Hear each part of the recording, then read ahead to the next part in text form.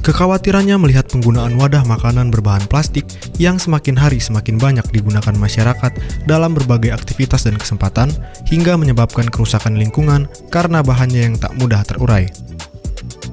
Martinus, seorang dosen di salah satu perguruan tinggi di Lampung, berinovasi setelah dirinya melihat banyak daun jati dan pelepah pohon pinang di sekitar kebun miliknya.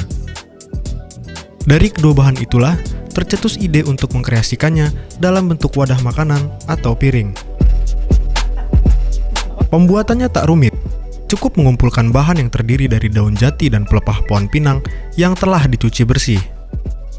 Daun yang telah bersih dibuat menjadi tiga lapis dan direkatkan menggunakan lem. Setelah itu, barulah dimasukkan ke mesin khusus agar bentuknya sempurna. Tahap terakhir, piring diproses menggunakan mesin pemanas. Tujuannya agar piring yang dihasilkan bebas dari bakteri. Ini memang eh, belakangan ini kan memang plastik itu menjadi salah satu momok eh, sampah yang luar biasa. Tapi kemudian tidak ada produk penggantinya.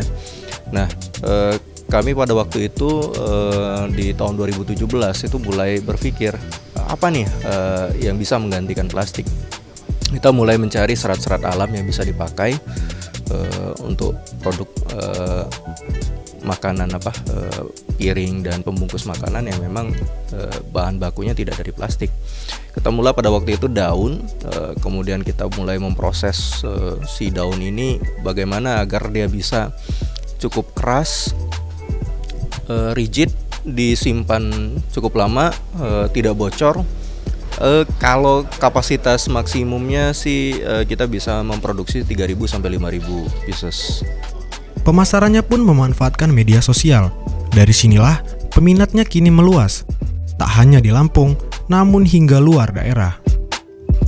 Harganya terjangkau, hanya Rp3.000 per piringnya, Anda sudah bisa menggunakan piring ramah lingkungan yang aman dan tahan air.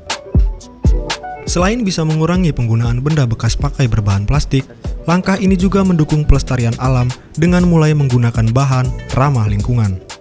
Roma Afria Idam, Kompas TV, Lampung.